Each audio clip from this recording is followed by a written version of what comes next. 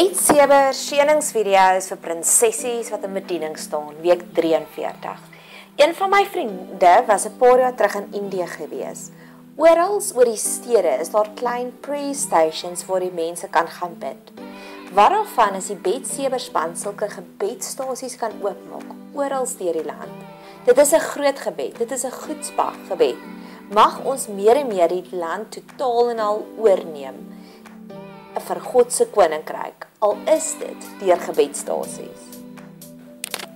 Altruistic, unselfishly concerned or devoted to the welfare of others. Mag God hierdie gees vandag oor ons uitstort, oor ons elkeen wat deel is van die Betsewer span, sodat ons werklik ons topprioriteit is om te sien na die om om te sien na die welvaart, na die beste belange van ander mense. Net soos die Rob Bell quote van worship wat hy sê om om te sien na die minder bevoorregtes is 'n tipe van worship. So mag God vandag ons harte kom vernuwe sodat ons meer altruïstiek sal wees. Dit is net so mooi die teenoorgestelde daarvan van om selfsugtig te wees. So mag God sommer almal rondom ons so vernuwe sodat almal so sal wees. Hierdie is 'n tipe van boodskappe wat my so opgewonde maak. Wanneer jy iets investeer in iemand anders en hulle wil net namens jou die woord daar buite kry mag ons ook so eksponensiële groei sien in alles wat ons aanpak dat ons ook sulke mede-arbeiders kry wat ons help om die goeie nuus oral heen te versprei. Ek is so dankbaar vir oomblikke soos dit. Mag ons dit daagliks ervaar, sulke oomblikke waar mense net die woord van God net wil verder en verder uitkry. Dit is soos 'n atoombom impak het in mense se lewens. Ek het hierdie natuurlike gesonde liefdesverhouding met mooi plekkies waar ek glo God kan ons gaan wegsteek. Gedurende die Desember Januarie periode terwyl ek boodskapies geskryf het vir hierdie seëningsvideo's, was daar sulke oomblikke wat ek net soveel vrede ervaar het. In my romantiese hartjie het dit vir my gevoel God steek my weg in hierdie pragtige plekkies sodat ek net volkome kan fokus en ook dit geniet om hierdie skrip te skryf en ook om die video's te maak. Mag jy dit ervaar in elke aspek wat jy aanpak. Dat net soos wat God vir Jeremia en Baruk gaan wegsteek het, dat hy ook gaan weg vir jou gaan wegsteek in hierdie plekkies van absolute vrede. Ken jy die liedjie van Keep on searching for a heart of gold?